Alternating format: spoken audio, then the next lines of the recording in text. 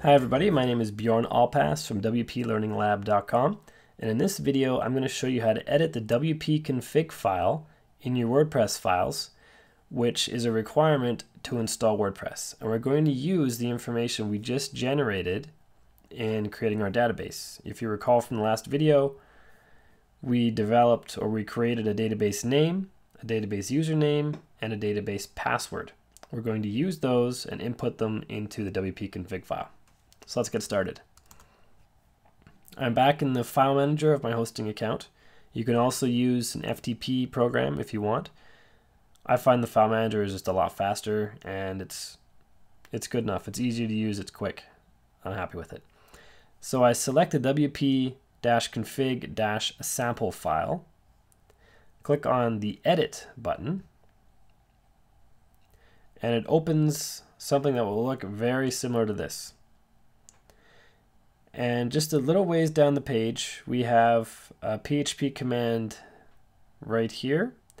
And it says inside these single quotes, database name here. That's where we put our database name. Below that, it says username here. Below that, it says password here.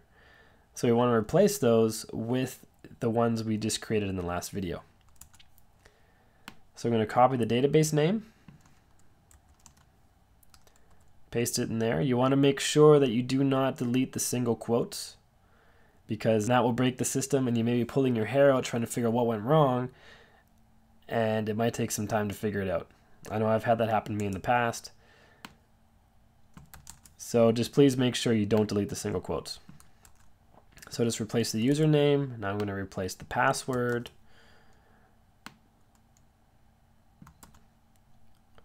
And there we go. That is ready to go.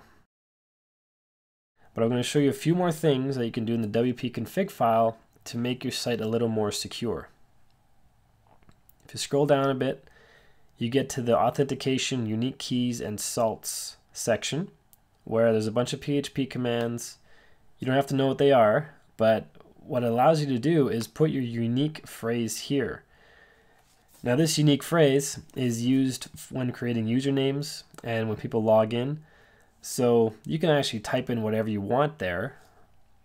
But to make it even more random, WordPress has created this salt generator at this URL. So we can just copy and paste this into our browser. And it loads this page. We hit refresh a few times and you can just select all the information on that page, go back to your WP config file, highlight all these, paste those in, and you have very random, very hard to guess and hack salts and unique keys. Another thing you can do, you can change the WordPress database table prefix. So with every WordPress installation, the default table prefix is WP underscore. The underscore has to be there. The or it gives you rules here actually. You can only use numbers, letters, and underscores. The last character I usually keep as an underscore to make it less confusing. So you can easily differentiate the, the, the table prefix from the actual table name. But before the underscore, you can type in whatever you wish. And the more random it is, the more difficult it will be for someone else to guess what it is and potentially get into your database.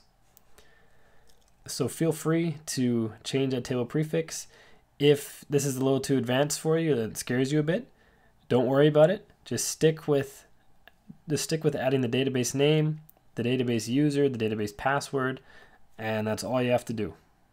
You can develop you can you can always update this stuff later. So when we're all done in here, we click on save changes.